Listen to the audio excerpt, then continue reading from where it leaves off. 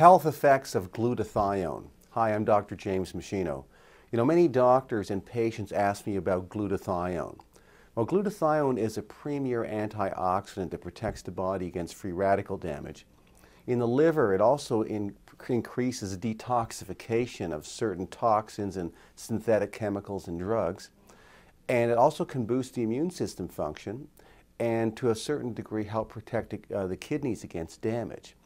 What's important to know is that the body makes its own glutathione. It makes it from three amino acids, cysteine, glutamic acid, and glycine. But in today's world, we have a tremendous amount of glutathione depletion. So a lot of people walk around with not enough glutathione. Because in the modern world, since World War II, there's been 85,000 new chemicals created. And so the body's having to detoxify these things as they come in through air, water, and food. And a lot of drugs, and whether they're over-the-counter drugs or prescription drugs, create intermediates in the liver when they're being detoxified. They require glutathione conjugation.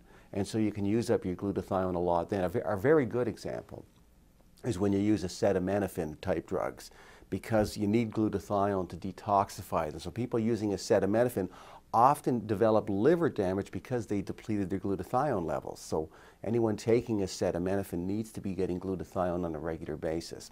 So how do you boost your glutathione levels? Well, taking a glutathione supplement doesn't actually increase your glutathione levels because you can't absorb glutathione very well from the gut into the bloodstream. It's far better to take a supplement that gives the body the, the building blocks to make glutathione, like N-acetylcysteine, alpha-lipoic acid, silymarin from milk thistle, and L-glutamine. So um, the therapeutic action, when people have taken that kind of combination supplement and they've raised their glutathione levels, it's been shown to be helpful in repairing liver damage where there's been cirrhosis or hepatitis or liver inflammation or damage from drugs. Also, where there's been nerve damage from chemotherapy drugs or in diabetic neuropathy. And people with kidney failure, you know, alpha lipoic acid, which boosts glutathione, has been shown to help uh, slow down kidney damage, in some cases actually improve kidney function. And some of these nutrients chelate heavy metals from the body, you know, mercury and lead and so on to remove them. And some of these nutrients, as I said, support immune system function as well. So, so glutathione is a very important nutrient in this day and age. So um, taking a supplement that raises glutathione levels is something that I do personally, actually, just for general health and wellness, uh, you know, uh, part of my game plan, if you will.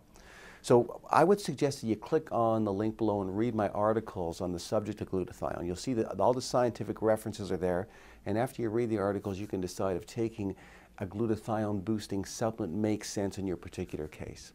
Now remember that at meschinohealth.com you'll see my other research review papers and other videos from my live seminars and professional seminars, other downloads and resources I've created to help you lead a long, healthy, functional life. Um, all my research papers and teaching materials have all the scientific references in them, so you'll, you'll know you're getting only sound scientific information from me on any health topic that you're looking for. So be sure to make meschinohealth.com an ongoing, reliable resource for health and wellness information for both you and your family members. Thanks so much for watching.